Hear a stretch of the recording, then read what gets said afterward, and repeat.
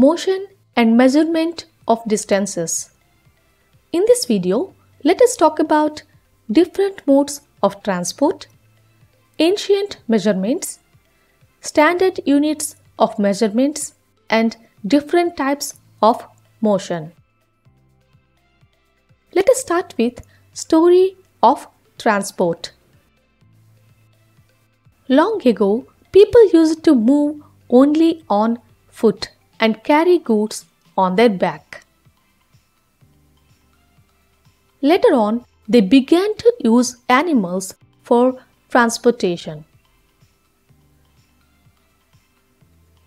For transport through water, boats made with wood were used from ancient times. Invention of wheel.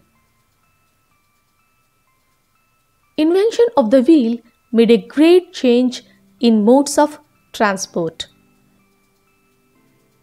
Animals were used to pull carts that moved on vehicles. The invention of steam engine led to the development of new means of transport. Railroads were made from steam engine driven carriages and wagons.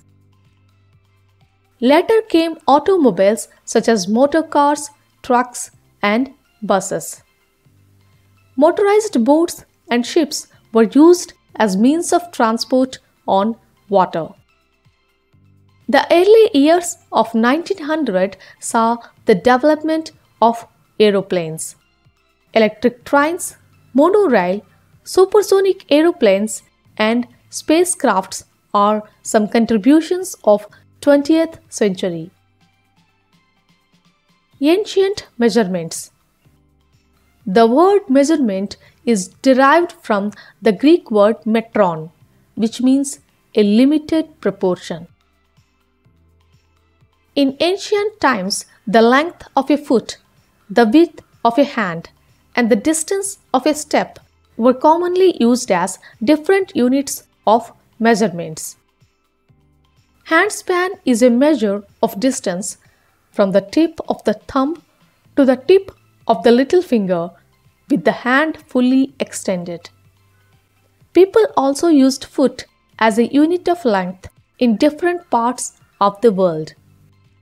A cubit as a length from the elbow to the fingertips were used in ancient Egypt and was also accepted as unit of length in other parts of the world.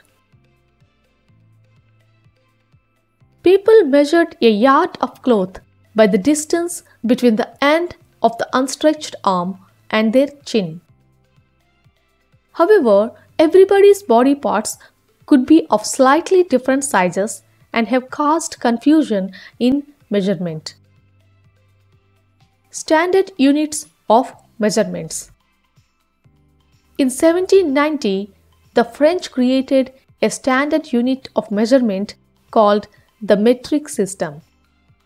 For the sake of uniformity, scientists all over the world have accepted a set of standard units of measurement. The system of units now used is known as International System of Units or SI units. Units of length.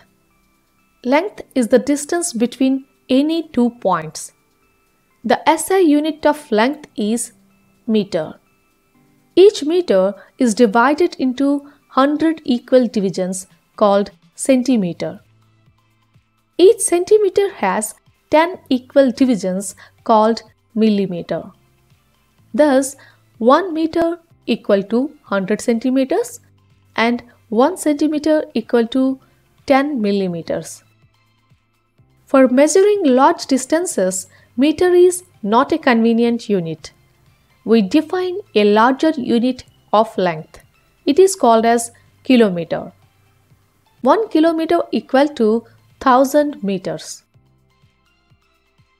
Units of mass. The SI unit of mass is kilogram. Each kilogram is divided into 1000 equal divisions called gram.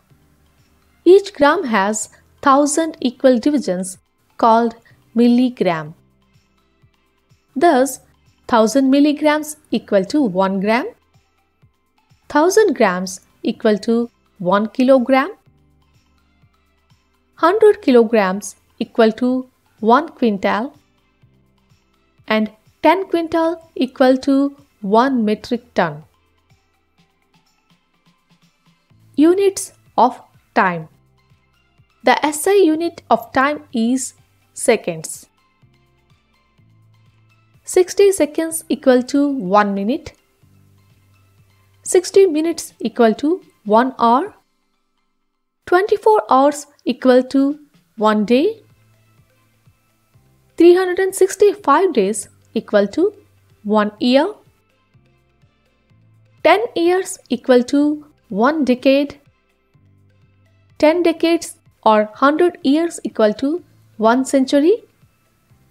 10 centuries or 1000 years equal to 1 millennium. Units of temperature. Thermometer is a device used to measure the temperature of the body.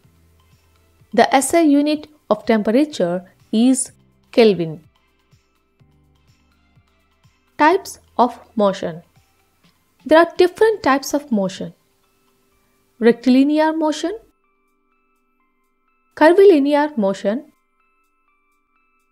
circular motion, periodic motion, and combination motion.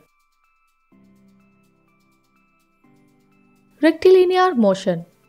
You may have observed the motion of a vehicle on a straight road and march past of soldiers in a parade. They move along a straight line. Motion in a straight line is called as rectilinear motion. Curvilinear motion.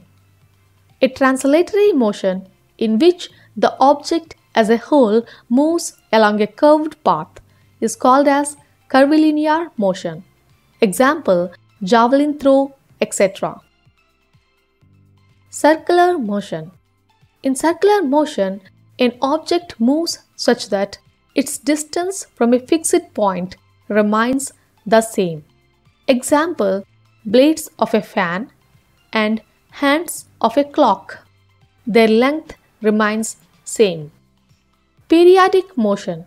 Some objects repeats its motion after some time.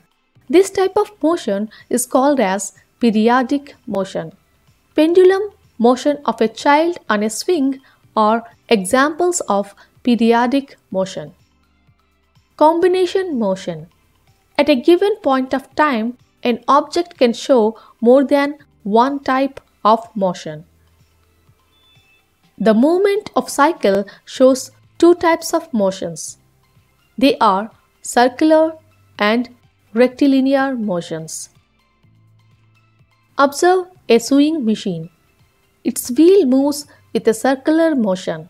It has a needle that moves up and down in a periodic motion. Here is a question for you. Motion of a child on a swing is called as Option A circular motion, Option B rectilinear motion, Option C Periodic motion. Write down your answers in the comment section given below and you can be the lucky winner of the episode and can be featured at the end of our next video.